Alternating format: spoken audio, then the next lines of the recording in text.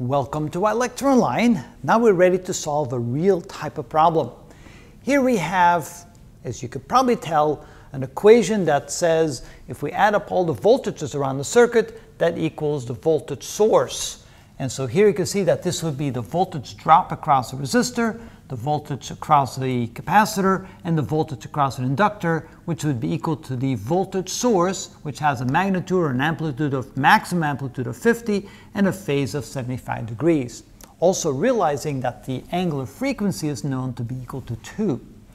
So how do we go ahead and solve for the current as a function of time in the circuit? So you can see this is a very realistic representation of what you might want to do with this kind of thing.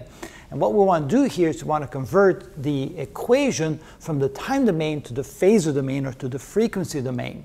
So what that then looks like is that 4i then becomes 4 times the magnitude of i in the phasor domain, plus here since we're integrating that would be a times i divided by omega times j because that's how we convert an integral. And then here, since is a derivative, this would be minus 3 times i, not, not divided, but times, uh, that would be uh, j times omega. And that would be equal to the right side of the equation. Now we can also convert that from the time domain to the phasor domain. We're given the magnitude and we're given the phase angle, so this becomes 50 times a phase angle of 75 degrees. All right, next, since we know the value for omega, since omega is equal to 2, according to our equation here, we can then replace omega by 2, so this becomes 4i plus a divided by 2, which is uh, 4i divided by j. And here that becomes minus 3 times 2, which would be 6i times j don't need a little hat on it, times j, and that equals, ooh, let's see here, j omega, no, I, I replaced omega by 2, so we get 50 times, not times, but 50 for magnitude and 75 degrees for the phase angle. The next thing we want to do is get rid of the j in the denominator here. And so we can say that since 1 over j is equal to minus j, if we multiply both the numerator and the denominator by j, we get minus j. So we can then say that this is equal to 4i minus uh, j times 4i minus j times 6i is equal to 50 and phase angle of 75 degrees.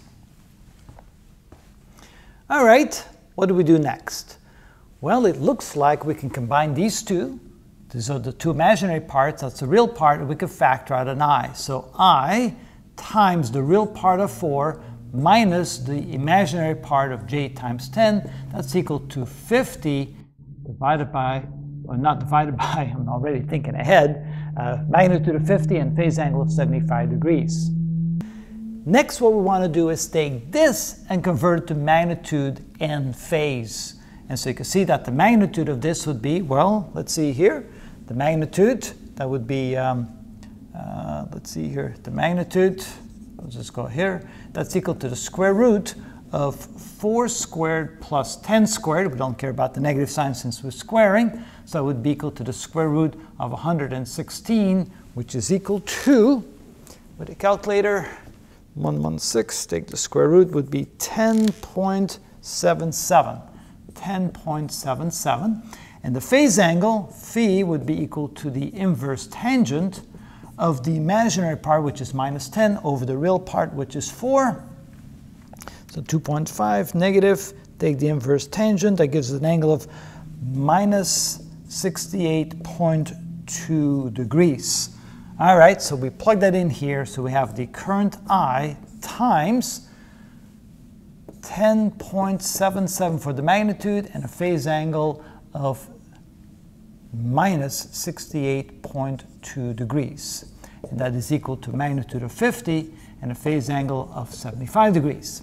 So now to solve for i, we're going to divide both sides by this quantity right here. So i is equal to 50 with a phase angle of 75 degrees divided by 10.77 with a phase angle of minus 68.2 degrees, which is going to be equal to, now we take 50 divided by 10.77, which gives us 4.64, and a phase angle of 75 minus a minus 68. So it'll be 75 plus 68, oop, 68.2.